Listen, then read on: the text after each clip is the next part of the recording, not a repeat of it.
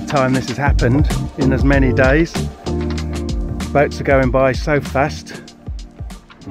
They're pulling our mooring pins out of the ground. Unfortunately, the ground's not the hardest at the best of times. But um, even so, we've never had this happen so regularly, have we, Fran? Especially when I just dried my hair. All three pins. All three pins have come um, out. I don't know what to do because we're supposed to be going out to meet somebody in a while. We need to leave the boat for a couple of hours. But I don't know.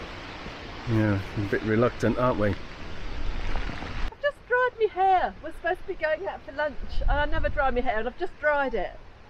now the sun's come out. That's uh, Wales for you. Look at that over there.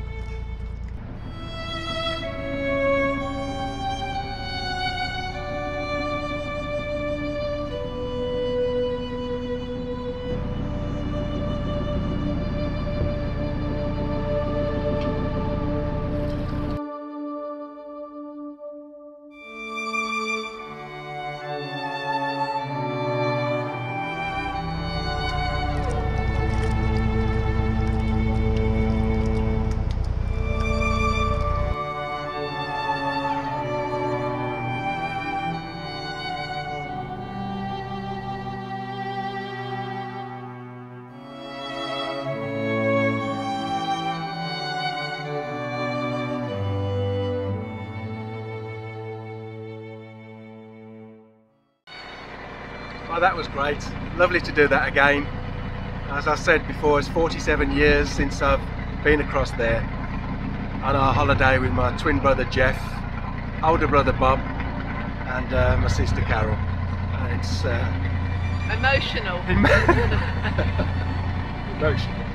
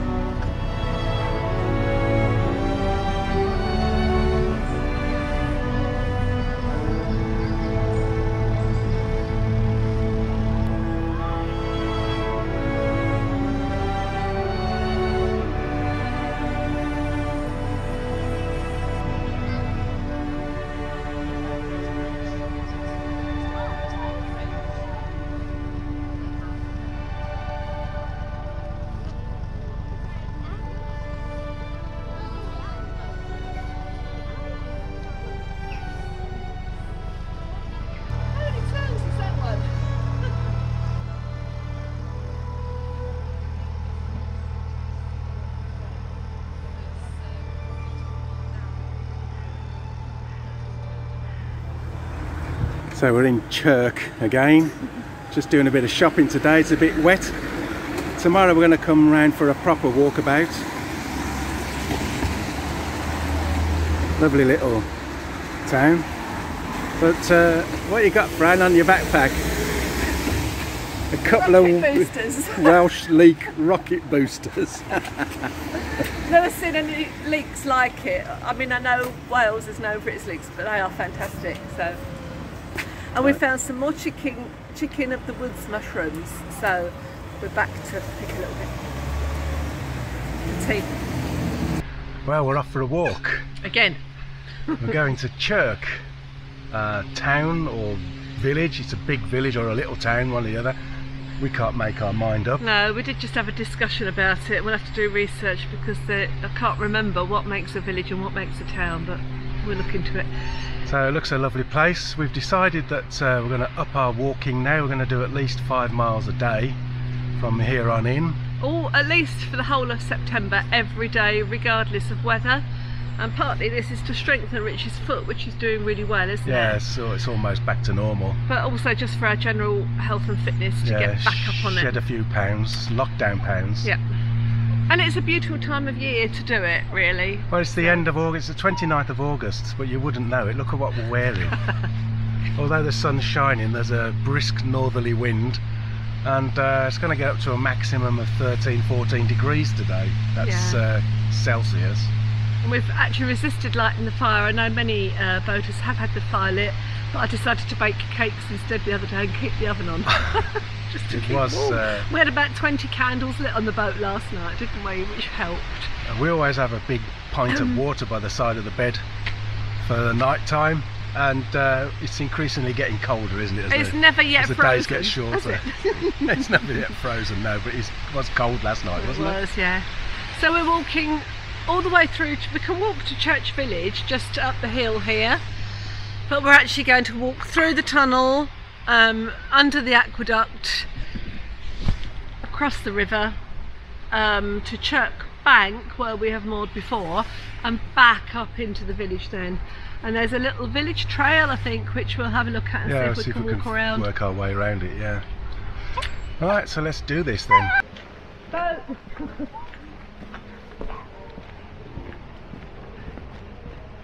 Nice walkers. Oh, is it?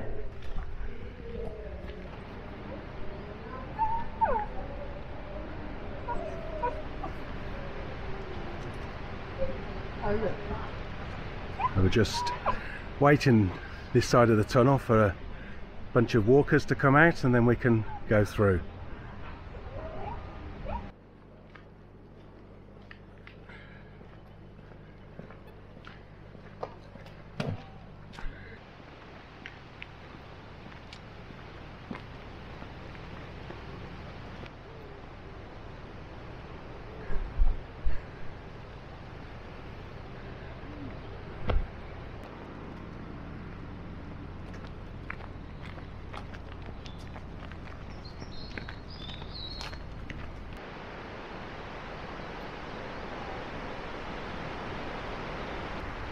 We were just waxing lyrical about how much of the country we've seen now. We've been taking this life for two and a half years of narrow boating and uh, what was you just saying about where we used to live We lived in a, a modern village in which, Essex? which had a, a newly built country park attached to it with a little lake.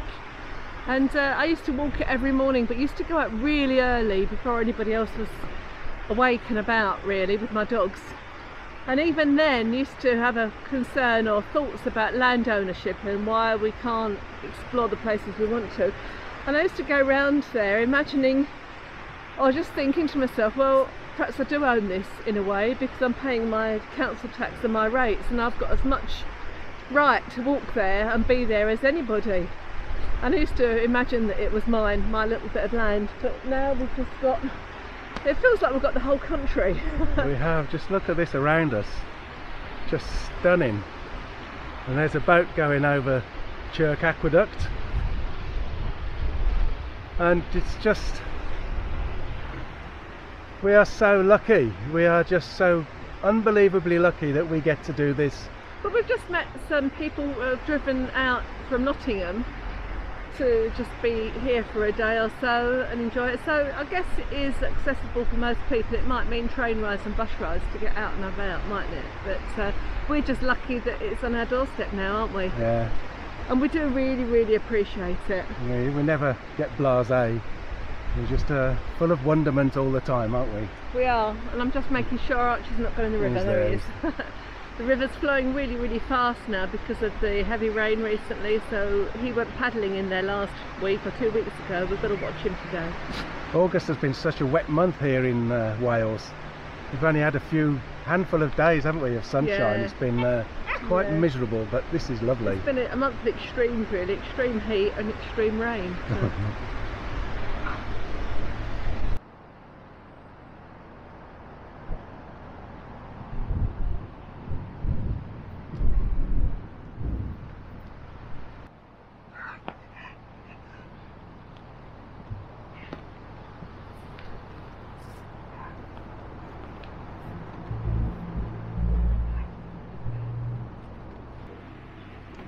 Where are you, Fran? I'm here. Are you here? Oh, it's a doggies. Tied up to a chair. I can't find what I want. I'm in. Um, we're in the cafe. We've just had coffee and cake, and now I've decided I'm actually going to buy some yarn for myself to crochet myself a jumper. But where to begin?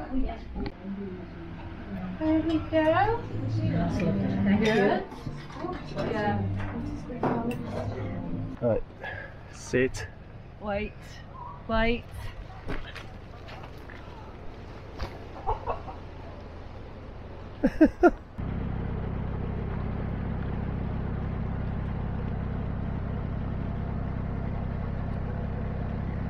At last, we've managed to find some sunny weather to cross an aqueduct in.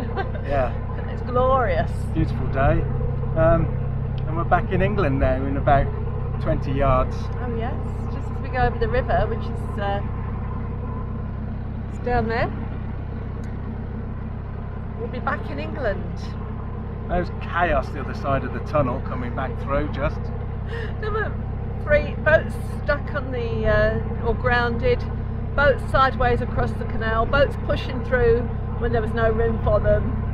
Um, but we just parked up for a little while. Let them all get Canoeists everywhere. wasn't it? It was chaos. We just moored up and let them all get on with it. And should have filmed it, I suppose. But So we're going to go back now, and I think more out in the sticks again for at least a day. Um, heading back towards the Montgomery arm, but I think we might need a quick uh, stop at Ellesmere just to stock up, knowing that Montgomery hasn't got any supplies on it. And uh, hopefully we've got a week of dry weather looks like it. Yeah, it looks like it could be good. for the beginning of our walking campaign. and I think we must be crossing into England just about now. On the river, over the river, yeah. The River Ceiriog.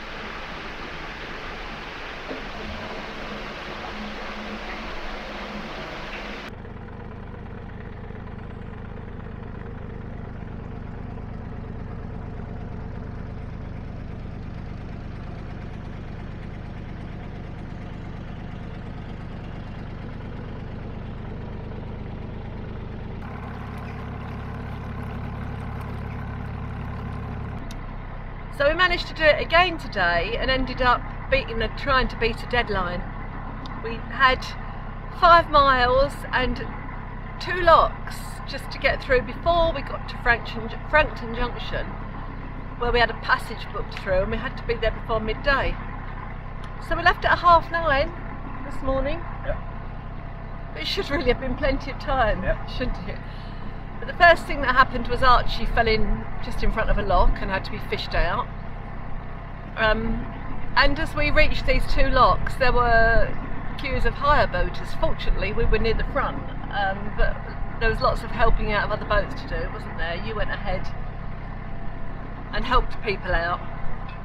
And uh, so we ended up with a real rush in the end to get to the locks. It took ages to get through those first two locks, didn't it? Uh, hadn't got a clue what, what they were doing, poor sods. So uh, got two boats through, and then the one coming up just sat on the back of their boat drinking tea while I was doing the lock for them. And then some poor lady that was that came up from about three boats behind and was new to her hire boat and didn't know what she was doing came up to help Richard the lock. And just as he was about to step over the lock gate, she opened the lock gate, and you nearly went into because she didn't. I said to her, just a minute. but it was fine, and we got to Frankton Locks six minutes late. But fortunately, Lockie had hung on for us because we'd got a passage booked. And they're really friendly lock keepers here, aren't they? Really helpful. yes, really nice people. So we've uh, stopped, topped up with water, done a little bit of foraging.